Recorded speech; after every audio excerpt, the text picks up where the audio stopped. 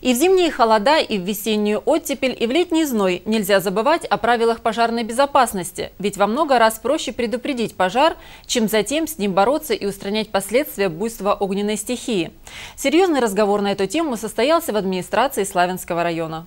Главы и специалисты городского и сельских поселений, председатели квартальных комитетов были приглашены на совещание в большой зал Славянской районной администрации – Цель совещания – еще раз напомнить о необходимости соблюдения правил пожарной безопасности, которые актуальны в любое время года. Представитель отдела надзорной деятельности и профилактической работы Славянского района рассказал о том, чего нельзя забывать ни в коем случае. Расскажем более-менее какие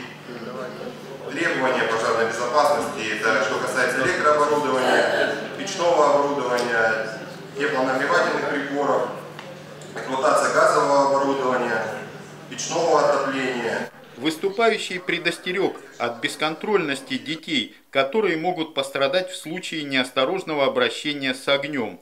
Он подробно рассказал о действиях при возникновении пожара, Особенно подчеркнул, что при эксплуатации газового оборудования нужно быть предельно внимательным. Многоквартирные дома, которые эксплуатируют газовое оборудование, должны быть все заключенные договора ВДГО, чтобы приезжали работники Горгаза, а, обслуживали, своевременно промазывали краны, ликвидировали утечки, ремонтировали котлы вовремя, чтобы магнитные клапана находились в исправном состоянии, чтобы как-то уберечь себя от э, данных происшествий. Заместитель начальника отдела надзорной деятельности и профилактической работы Славянского района Рустем Джилялов осветил вопрос об административной ответственности за сжигание веток, листвы и сорной растительности на участках граждан и ответил на вопросы собравшихся.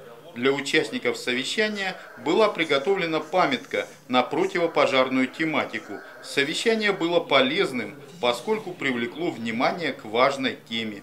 Много полезной информации мы сегодня услышали, э, приняли к сведению то, что нам нужно, направления, в которых нам нужно будет работать, усилить работу с населением.